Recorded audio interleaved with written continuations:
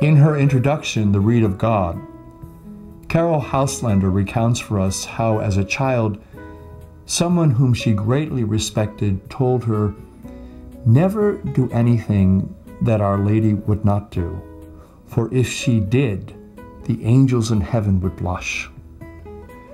Caryll took the older person's advice to heart, and for a short time she avoided doing those simple pranks that often spelt joy for her as a child, but would be considered questionable for anyone choosing to imitate the holiness of Mary. But she tells us that her inoculation of piety wore off rather quickly, primarily because she found it difficult to imagine Mary, the Mother of God, doing anything that she liked to do simply because she couldn't imagine Mary doing anything at all. I think this simple story speaks for many of us because I believe there are many people who, in loving Our Lady, still think of her as someone who never did anything that we do.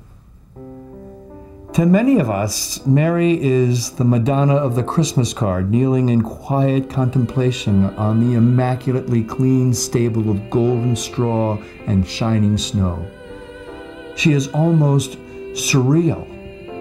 Nothing about her is ordinary, not even the stable in which love is born.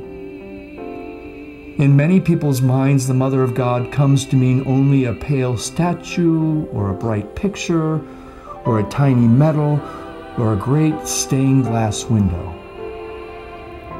We forget that Mary, the Mother of God, on earth was and in heaven is a person. I believe what makes us truly love a particular saint are the little human details we discover about their lives. For instance, I love St. Catherine of Siena because she loved her garden and she gilded tiny oranges to humor a very difficult pope. Such simple things make me forget that she was so fiercely ascetic and that for years she fed only on the Blessed Sacrament. But it is Our Lady and no other saint who we can readily imitate. All the canonized saints had special vocations and special gifts for their fulfillment. Each of them has his or her special work, a work particular to that holy person. For instance, Mother Teresa, she worked for the poorest of the poor. St. Alphonsus, the founder of the Redemptorist, he preached to the most abandoned. Martin de Porres ministered to the slaves in the galley ships in Peru. But Mary had to include in her vocation, in her life's work, the essential thing that was to be hidden in every other vocation, in every every life. She is not only human like the other saints, she is humanity.